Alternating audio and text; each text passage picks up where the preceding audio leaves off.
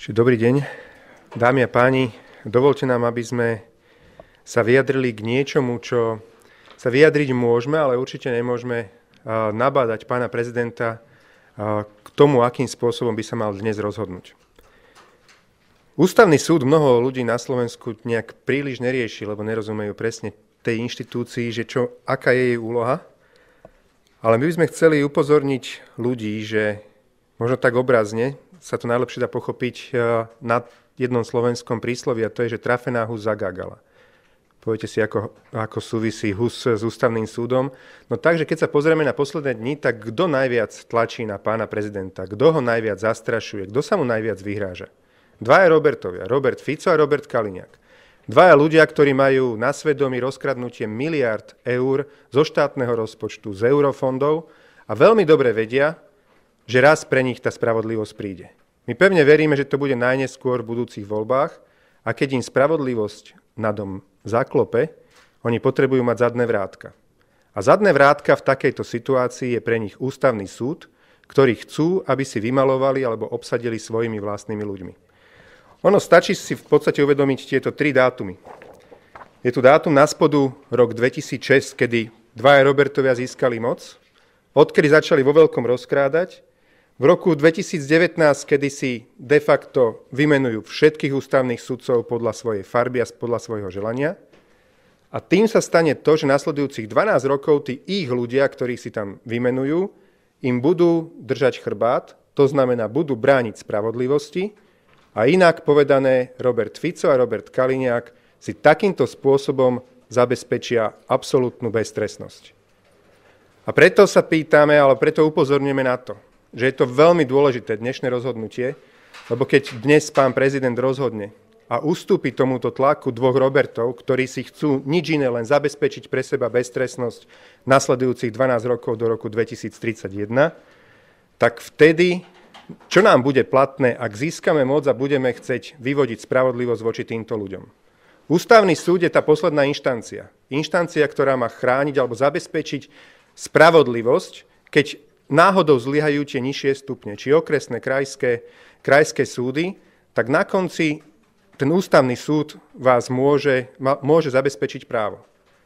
Ale keď dovolíme týmto skorumpovaným ľuďom a stelesneným stelesnenie, eh, ktoré, alebo teda týmto stelesnení, eh, pardon, skorumpovaným ľuďom, ktorí sú reprezentovaní týmito dvomi Robertami, aby si obsadili ústavný súd a aby vydierali pána prezidenta, aby nie vymenoval demokratický zvolený senát alebo tá plénum ústavného súdu, ale len podľa ich gusta, podľa vôle ich jednej politickej strany, tak v tom prípade sa nestane nič iné, ako som povedal, zabezpečia si beztrestnosť do roku 2031.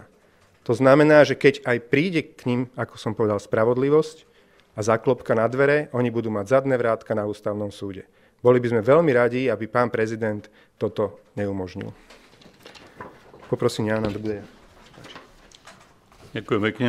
Dámy a páni, ja sa tiež neobraciam na prezidenta, ale na veľmi povolanú osobu, a to je ministerka Žitňanská. Pani ministerka spravodlivosti pri najmenej od e, rozhodnutia Benátskej komisie vie, že Benátska komisia upozorňuje Slovenskú republiku, že voľba sudcov sa deje čiste stranickým spôsobom, pretože na jeho zvolenie stačí e, prostá väčšina. To znamená, že de facto každá, každá vlna, kedy sudcovia prichádzajú na ústavný súd, kedy končí tým predošlým mandát, sa hlasuje momentálnou koaličnou väčšinou. V prípade, že nasledujú po sebe viaceré, alebo že náhodou ten rytmus tak vyjde, tak môže sa stať, že ústavný súd je kompletne stranický vo farbách jednej politickej strany alebo jednej politickej koalície. Práve táto situácia má nastať a práve tejto situácii bráni prezident Kiska a upozorňuje na ňu Benátska komisia. Pani ministerka mala už e, dlhú dobu na to, aby pripravila zákon, ktorom mení spôsob voľby ústavných sudcov. Minimálne tak, aby bolo treba dvojtretinovú väčšinu, ako je to v drvivej väčšine, v drvivej väčšine štátov okolo nás, v horšom prípade trojpetinovú väčšinu, ale iba prostá nadpolovičná väčšina rovná sa E, vládna koalícia. A takto je nielen v Slovenskej republike, takto by postraničtili súdy a ústavný súd všade na svete vládne väčšiny, ak by nemali v ústave patričné ustanovenie, ktoré bráni voľbe prostou väčšinou, ale žiada od poslancov a od Národnej rady, aby sa dohodli, aby urobili konzenzus na buď trojpetinovej alebo dvojtretinovej väčšine.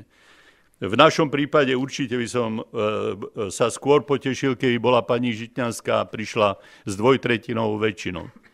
Ale pani Žitňanská, ktorá ukázala pomerne jasne, že tomu dobre rozumie, ako smer chce postraničiť súdnictvo, ktorá sa postavila razantne proti vymenovaniu svojej štátnej tajomničky Jankovskej do súdnej rady, kde bolo jasné, že aj súdnu radu chce smer ovládnuť svojimi politickými nominantami a napokon to aj dosiahla. E, táto pani e, ministerka spravodlivosti sa o ústavný súd a spôsob jeho voľby zatiaľ nestarala a nenavrhla žiadne riešenie. Toto je najdemokratickejšia cesta, ak vypočujeme hlas z Benátskej komisie, a nakoniec aj hlas rozumu, že my nemôžeme mať najvyšší orgán štátu, ktorý, ako si pamätáte z amnestii, rozhoduje o kľúčových udalostiach. Pamätáte si, ako sme na jar tohoto roku čakali na stanovisko Ústavného súdu. Rozhoduje o kľúčových e, štátnych etapách vývoja Slovenskej republiky a samozrejme niekedy rozhoduje aj o veľmi citlivých témach, ktoré sa môžu týkať politickej zodpovednosti, tak ako povedal tak ako povedal e, môj predrečník. Pani ministerka je v tomto zmysle zatiaľ pasívna a ja jej to zazlievam, pretože dnes nech sa už rozhodne prezident tak alebo onak, e, ústavná kríza e, alebo kríza ústavných inštitúcií, ktorá tu doteraz bola, už doteraz vytvorila veľa napätia a ak sa opakujem, prezident rozhodne tak či inak, nebude to komfortné riešenie a nebude E, prinášať e, pre Slovensko e, to, čo by bežná demokratická prevádzka mala prinášať, to znamená stabilitu a dobré demokratické riešenia. Ak sa rozhodne menovať stranníkov do ústavného súdu, tak urobí krok k tomu, že ústavný súd bude postraničtený. Ak sa rozhodne nemenovať, urobí krok do neznáma a k riešeniam, o ktorých v tejto chvíli nechcem špekulovať. Dôvod, prečo sme dospeli až k tomu, že prezident dnes je postavený pred takúto Sofínu voľbu je práve ten, že vládna koalícia, ktorá mala od Benátskej komisie upozornenie, že voľba ústavných sudcov je u nás postraništená, nekoná a na čele tohoto rezortu spravodlivosti je práve pani ministerka Žitňanská.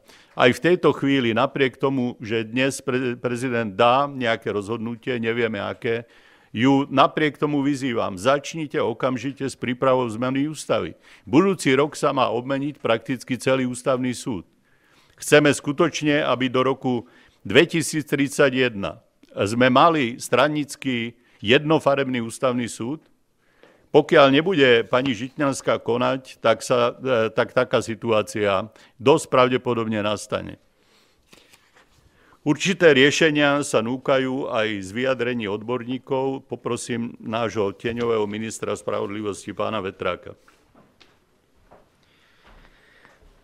Ja by som nadviazal na svojich predrečníkov, lebo skutočne pán prezident dnes stojí pred rozhodnutím, ktoré v budúcnosti môže zmeniť charakter tohto štátu a najmä ten právny charakter tohto štátu. My síce nie sme, e, nemáme sudcovskú tvoru práva, ale všetci dobre vieme, akým spôsobom a zásadným spôsobom môže ústavný súd pozmeniť charakter či už právneho systému, alebo aj celkovo charakter štátu svojimi rozhodnutiami. Ako bolo povedané, my nebudeme vyzývať e, pána prezidenta, či má vymenovať alebo nemá vymenovať e, ústavných sudcov. E, máme tu ústavu, máme tu už aj rozhodnutie ústavného súdu, ale chceli by sme mu odporučiť, aby s takýmto vymenovaním ešte počkal, a to dovtedy, pokiaľ Národná rada Slovenskej republiky nevytvorí také ústavné, legislatívne a personálne podmienky, aby boli za sudcov ústavného súdu vymenovaní nestranní a nezávislí sudcovia. Veď základný zákon tohto štátu, naša ústava hovorí, že ústavný súd je nezávislým súdnym orgánom ochrany ústavnosti. Ale tá nezávislosť to nie je prázdny pojem.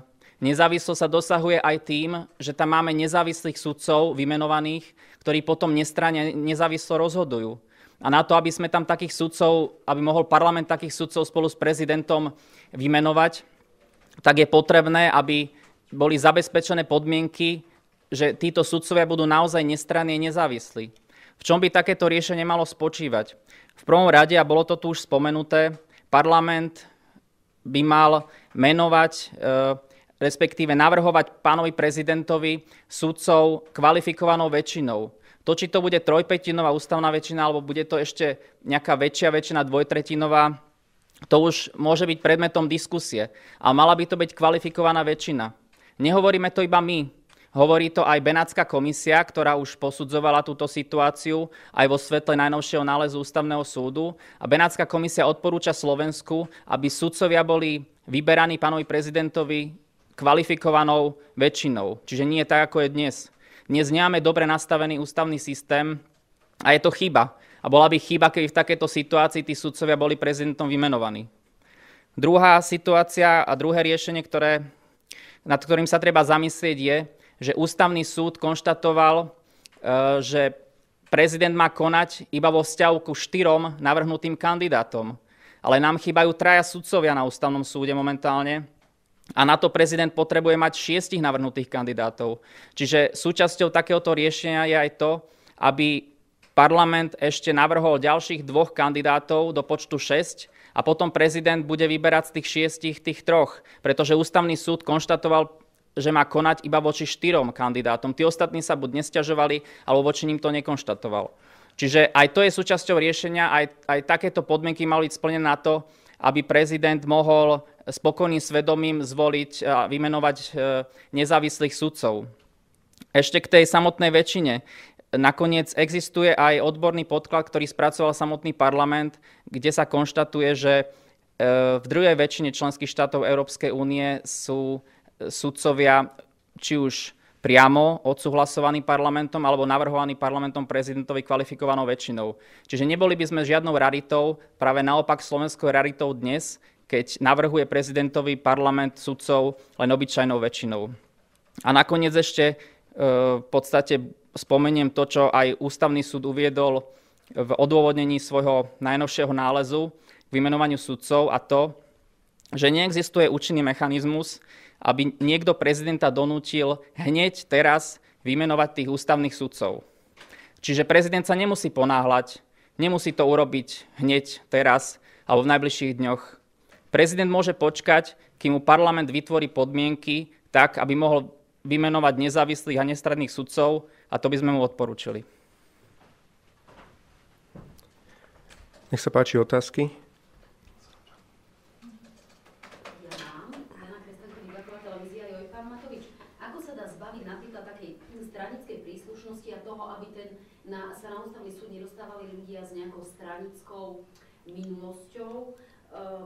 Kandiduje teda pani poslankyňa Lášáková. Na jednej strane tu máme senát pána Brňáka, ktorý teda pochádza z HZDS, na druhej strane senát pána Orosa, na ktorý sa často spoliehame. Dá sa zbaviť toho, aby sa teda politici aktívni nedostávali na ústavný súd? To je práve to riešenie, že nemusíme vymýšľať koleso na Slovensku, keď parlamentný inštitút priamo na pôde Národnej rady spravil rešerš toho, akým spôsobom to funguje v rámci Európskej únie. Z toho, z toho rešeršu jednoznačne vyplýva, že absolútna väčšina volí si kandidátov na sudcov ústavného súdu, nie obyčajnou väčšinou, ako tá, ako ju volíme na Slovensku, to znamená 76 hlasmi, ale volí tých kandidátov ústavnou väčšinou, alebo ešte väčšou ako ústavnou väčšinou, to znamená dvojtretinovou väčšinou. Aby som to povedal na slovenské pomery, máme 150 poslancov, na Slovensku stačí obyčajná väčšina. 76 poslancov a je zvolený kandidát. Vo väčšine európskych krajín treba 90, respektíve až 100 hlasov, na to, aby sa našli uh, títo kandidáti. A práve to, že by bolo potrebné sa baviť aj s opozíciou, tak by zabezpečilo to, že zrejme by neprešla cez nás palculienka, teda keď sa bavíme o pani Lašiakovej, lebo jednoducho nemá nič spoločné s odbornosťou a hlavne s ústavným právom. Jednoducho to je čisto napríklad krásny príklad politického nominanta, a vtedy, keď by sa navzájom museli politické strany baviť, zrejme by prišli alebo prešli ako kandidáti skutoční odborníci. Lebo by sa opozícia koalíciu by, koalíciu by strážila. bohužiaľ hlasujeme, takže kolega nás opustil. Takže toto je cesta. Každopádne, ono sa to ľuďom, alebo niektorí, ja som to postrehol aj medzi možno aj novinármi, aj medzi možno voličmi opozície, kedy si hovoria, že, uh, že vlastne rozhodnutie ústavného súdu, o tom by sme nemali ani diskutovať, to je automaticky, to je, to je, to je jak sveté písmo. Ale nie, my sme ten, ten ústavný súd je v podstate kvázi jak uh, produktom našej spoločenskej zmluvy. A zmluvy a dobré zmluvy sa robia do zlého počasia a to zlé počasie práve nastáva. Práve v takýchto kritických situáciách. Kým ústavný súd rieši obyčajné bežné stiažnosti ľudí kvôli pozemkom a kvôli nejakých iným ich právach, tak dovtedy tí politickí nominanti nemajú dôvod politicky zneužiť de facto to svoje postavenie a rozhodovať politicky. Ale zrazu, keď prídu takéto rozhodnutia, kde je to jednoznačne o politike, tak sa prikláňajú na stranu tých svojich chlebodárcov. A to sa stalo tu. Vidíme to pri tomto konkrétnom senáte, že tí ľudia sú schopní pred 4 rokmi rozhodnúť, že keď podvodník si vypýta DPH, tak stačí, že ulutuje a nemá žiaden trest, takzvaná teda účinná lútosť. A znovu ten istý senát, zrejme na základe znova politickej objednávky, ale teraz potrebujú niekomu dať asi po krížoch, tak rozhodne, že nie, že platí to, čo povedali pred 4 rokmi, ale že platí presný opak. Že podvodník, keď si vypýta DPH, tak nemôže nikdy si uplatniť účinnú lútosť. A to isté ja som to zažil zase pri ústavnom súde pri rozhodovaní o tom, že čo je podnikanie. Jednoducho, keďže to bolo politický problém, politická objednávka, tak v mojom prípade síce môj senát Orosov rozhodol, že podnikanie musí byť sústavná činnosť a musí tam byť tržba a zisk, ale keďže to bol, bola politická objednávka, tak pani predsednička povedala, že ale tento názor nie je správny, ten nemôžete mať a budete mať názor tohto druhého senátu, ktorý rozhodol pred vami. Čiže v takýchto zlomových situáciách potom sa ukáže, že na čo je dobré naozaj si strážiť čistotu voľby ústavného súdu. Ale ešte raz by som dovolil si upozorniť na, na súvislosť medzi týmito tromi dátumami. Tu si Robert Fico a Robert Kaliňák povedia, že spravia si zo slovenského štátneho rozpočtu a z eurofondov biznis.